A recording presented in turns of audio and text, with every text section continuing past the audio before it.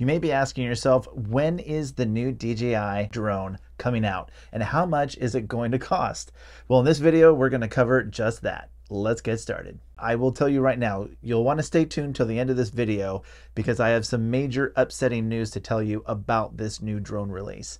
I just wanted to give out uh, credits to at Jasper Ellens, at Deal Drones, and also Drones XL for this great leaked information. The drone that we're talking about is the Avata, and it is an FPV style drone. In fact, it's DJI's second version. They also are coming out with brand new goggles for this FPV drone.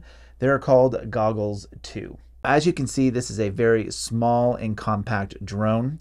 Uh, the drone itself is rumored to be modular, I guess would be the best word.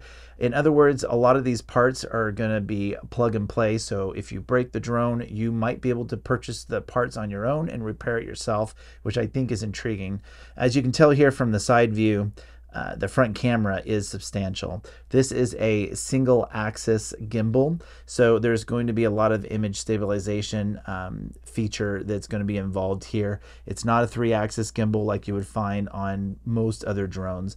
It is a 1 over 1.7 inch aperture or sensor with a 2.8 inch aperture and a 155 degree field of view, which I think is absolutely amazing.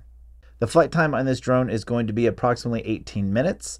It has 20 gigs of internal storage, which I think is awesome, and a top speed of 14 meters per second or 31 miles per hour. And as you can see from the bottom view, we have two landing sensors and four feet for landing. And the blades are five blades instead of three like the previous FPV model.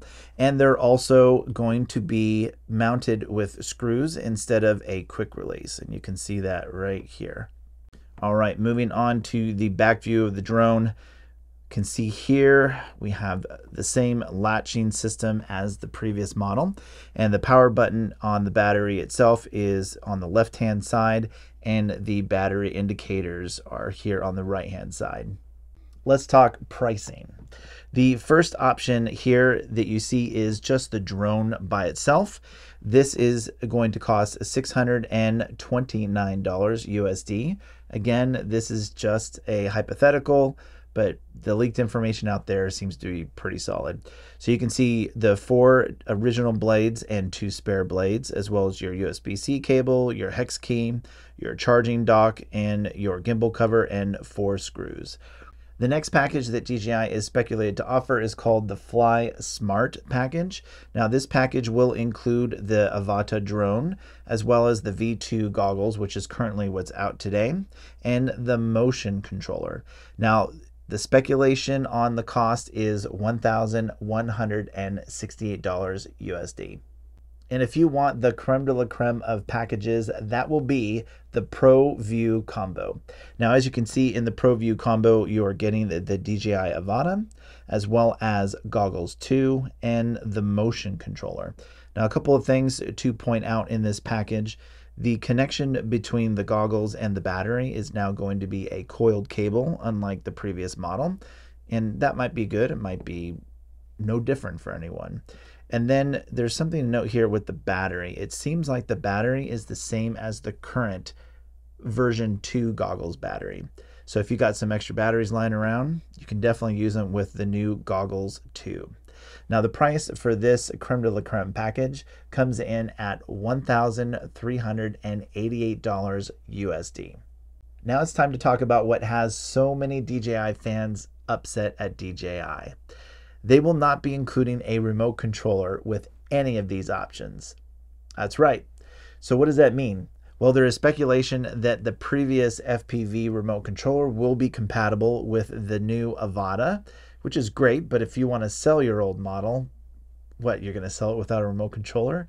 Probably not. So it seems that DJI may be offering that FPV remote controller as a single item add on but we will just have to stay tuned to see what DJI announces.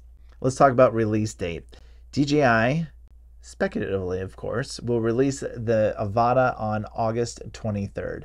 Now, if it's anything like or similar to the Mini 3 Pro's release, do not expect product to be available on the day of, but instead it will come weeks later. Now, the Mini 3 Pro came weeks, if not months later, so let's hope that it won't be the same with the Avata.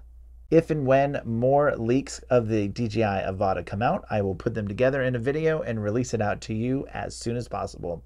Until then, if you want to check out more videos on this channel, you can click or tap up here. That's good. All right, done.